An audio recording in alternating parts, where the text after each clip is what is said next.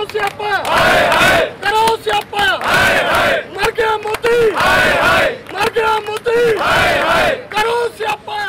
Petrol ਅਤੇ diesel ਦੀਆਂ ਕੀਮਤਾਂ ਵਿੱਚ ਲਗਾਤਾਰ ਵਾਧੇ ਨੂੰ ਲੈ ਕੇ ਅਤੇ ਪੈਟਰੋਲ, ਡੀਜ਼ਲ ਨੂੰ ਜੀਐਸਟੀ ਦੇ ਨਾਲ ਨਾ ਲੈ ਕੇ ਆਉਣ ਤੇ ਮੋਦੀ ਸਰਕਾਰ ਦੇ ਖਿਲਾਫ ਕਾਂਗਰਸ ਦਾ ਪ੍ਰਦਰਸ਼ਨ ਲਗਾਤਾਰ ਜਾਰੀ ਹੈ, ਜਿੱਥੇ ਅੱਜ ਲੁਧਿਆਣਾ ਦੇ ਗਿੱਲ ਰੋਡ ਵਿਧਾਇਕ ਕੁਲਦੀਪ ਸਿੰਘ ਵੈਦ ਦੀ ਅਗਵਾਈ ਵਿੱਚ ਕਾਂਗਰਸੀ ਵਰਕਰਾਂ ਵੱਲੋਂ ਪ੍ਰਦਰਸ਼ਨ ਕੀਤਾ ਗਿਆ ਇਸ ਦੌਰਾਨ ਕੁਲਦੀਪ ਸਿੰਘ ਵੈਦ ਨੇ ਕਿਹਾ ਕਿ ਪ੍ਰਧਾਨ ਮੰਤਰੀ ਨਰਿੰਦਰ ਮੋਦੀ ਵੱਲੋਂ 15-15 ਲੱਖ ਰੁਪਏ ਦੇਣ ਦੀ ਗੱਲ ਕਹੀ ਸੀ। ਨਾ ਤਾਂ ਉਹ ਪੈਸੇ ਹੁਣ ਤੱਕ ਆਏ ਅਤੇ ਨਾ ਹੀ ਕਾਲਾ ਧਨ ਵਿਦੇਸ਼ਾਂ ਤੋਂ ਵਾਪਸ ਆਇਆ ਇਹਨਾਂ ਨੂੰ ਪੁੱਛੋ ਕਿਹੜੇ ਅੱਛੇ ਦਿਨਾਂ ਦੀ ਗੱਲ ਕਰਦੇ ਨੇ।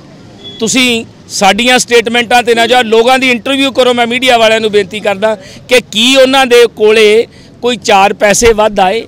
ਕੀ ਕੋਈ ਪ੍ਰਾਪਰਟੀਆਂ ਸਸਤੀਆਂ ਹੋਈਆਂ, ਕੀ ਕੋਈ ਫੂਡ ਗ੍ਰੇਨ ਸਸਤਾ ਹੋਇਆ, ਕੀ ਸਾਡਾ ਪੈਟਰੋਲ ਡੀਜ਼ਲ ਹੋਇਆ ਮਹਿੰਗਾ? ਸਸਤਾ ਹੋਇਆ। ਪੈਟਰੋਲ ਡੀਜ਼ਲ ਆਪਾਂ ਸਾਰੇ ਸਕੂਟਰ ਮੋਟਰਸਾਈਕਲ ਕਾਰਾਂ ਤੇ ਤੁਰੇ ਫਿਰਦੇ ਹੋ, ਅੱਗ ਲੱਗੀ ਹੋਈ ਹੈ ਪੈਟਰੋਲ ਡੀਜ਼ਲ ਨੂੰ। ਇਹ 2-2 ਰੁਪਏ 4-4 80 85 ਰੁਪਏ ਤੇ ਪੈਟਰੋਲ ਤੇ ਡੀਜ਼ਲ ਲੈ ਗਿਆ। ਹੁਣ ਕਦੇ 10 ਪੈਸੇ ਲੋਕਾਂ ਦਾ ਪ੍ਰੈਸ਼ਰ ਬਣਿਆ, ਕਦੇ 5 ਪੈਸੇ ਹਰ ਰੋਜ਼ ਵਧਾ ਦਿੰਦੇ ਆ, ਤੁਸੀਂ ਕਵਾਰ ਘਟਾ ਦਿੰਦੇ ਆ, ਕਦੇ 10 ਪੈਸੇ ਘਟਾ ਦਿੰਦੇ ਆ। ਇਹ ਦੇਖੋ ਕਿਵੇਂ ਸਾਨੂੰ ਲੋਕਾਂ ਨੂੰ ਮੂਰਖ ਬਣਾਉਂਦਾ। ਇਹ ਤਾਂ ਭਾਰਤ ਵਰਸ਼ ਨੂੰ ਹਿੰਦੁਸਤਾਨੀਆਂ ਨੂੰ ਇਹ ਪ੍ਰਣ ਕਰ ਲੈਣਾ ਚਾਹੀਦਾ ਕਿ 2019 ਤੋਂ ਇਹ ਜਿਹੜੀ ਮੁਕਤੀ ਆ ਨਾ ਮੋਦੀ ਤੋਂ, ਜੇ ਨਾ ਮਿਲੀ, ਤੇ ਹਿੰਦੁਸਤਾਨ ਦਾ ਬਹੁਤ ਨੁਕਸਾਨ ਹੋ ਜਾਏਗਾ।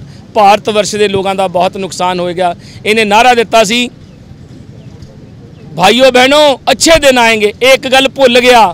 ਹੁਣ ਆਪ ਹੀ ਕਹਿਣਾ ਸ਼ੁਰੂ ਕਰ ਦੂਗਾ, ਭਾਈਓ ਬਹਿਨੋ ਅੱਛੇ ਦਿਨ ਆਏਗੇ। ਜਬ ਰਾਹੁਲ ਗਾਂਧੀ ਸਰਕਾਰ ਬਣਾएंगे ਜੈ ਹਿੰਦ। ਦੂਜੇ ਪਾਸੇ ਜਲੰਧਰ ਦੇ ਨਕੋਦਰ ਕਪੂਰਥਲਾ ਰੋਡ ਤੇ ਵੀ ਪੈਟਰੋਲ ਤੇ ਡੀਜ਼ਲ ਦੀਆਂ ਵਧ ਰਹੀਆਂ ਕੀਮਤਾਂ ਨੂੰ ਲੈ ਕੇ ਸਾਬਕਾ ਐਮਐਲਏ ਜਗਬੀਰ ਸਿੰਘ ਬਰਾੜ ਦੀ ਅਗਵਾਈ ਵਿੱਚ ਕਾਂਗਰਸੀ ਵਰਕਰਾਂ ਵੱਲੋਂ ਬੀਜੇਪੀ ਦੀ ਕੇਂਦਰ ਸਰਕਾਰ ਦੇ ਖਿਲਾਫ ਜੰਮ ਕੇ ਨਾਅਰੇਬਾਜ਼ੀ ਕੀਤੀ ਗਈ ਅਤੇ ਨਾਲ ਹੀ ਇਸ ਪ੍ਰਦਰਸ਼ਨ ਵਿੱਚ ਸ਼ਾਮਲ ਔਰਤਾਂ ਨੇ ਵੀ ਮੋਦੀ ਸਰਕਾਰ ਦਾ ਪਿੱਟ ਸਿਆਪਾ ਕਰ ਪੁਤਲਾ ਫੂਕਿਆ। ਪ੍ਰਦੇਸ਼ ਕਾਂਗਰਸ ਵੱਲੋਂ ਜੋ ਸਾਨੂੰ ਸੰਦੇਸ਼ ਆਇਆ ਸੀਗਾ ਕਿ 14 ਤਰੀਕ ਤੋਂ ਲੈ ਕੇ 21 ਤੱਕ ਪਿੰਡਾਂ ਦੇ ਵਿੱਚ ਇਸ ਗੱਲ ਦਾ ਪ੍ਰਚਾਰ ਕਰਨਾ ਹੈ ਕਿ ਨਰਿੰਦਰ ਮੋਦੀ ਸਰਕਾਰ ਨੇ ਤੇਲ ਦੀਆਂ ਕੀਮਤਾਂ ਨਜਾਇਜ਼ ਵਧਾਈਆਂ ਹੋਈਆਂ ਇਸ ਤੇਲ ਦੀ ਜਿਹੜੀ ਜ਼ਿਆਦਾ ਰੇਟ ਹੈ, ਇਹਦੇ ਨਾਲ ਮਜ਼ਦੂਰ, ਕਿਸਾਨ, ਜ਼ਿਮੀਂਦਾਰ ਸਾਰਿਆਂ ਤੇ ਬਹੁਤ ਜ਼ਿਆਦਾ ਫ਼ਰਕ ਪੈ ਰਿਹਾ ਸਾਡੀ ਪੁਰਜੋਰ ਮੰਗ ਹੈ ਕਿ ਤੇਲ ਦੀਆਂ ਕੀਮਤਾਂ ਜਿਹੜੀਆਂ ਘਟਾਈਆਂ ਜਾਣ।